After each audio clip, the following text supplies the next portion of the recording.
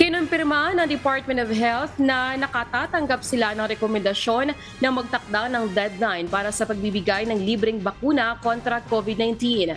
Gagawin ito upang mahikayat ang mas nakararaming Pilipino na agad nang magpabakuna at mapataas ang booster vaccination sa bansa. Pero ayon sa DOH, hindi pa ito maaaring gawin sa ngayon. Pakinggan po natin ang naging payag ni Undersecretary Maria Rosario Vergere ukol dito. ang ating gobyerno ay nag-invest ng pondo para mabilan natin ang buong populasyon natin itong COVID-19 vaccines.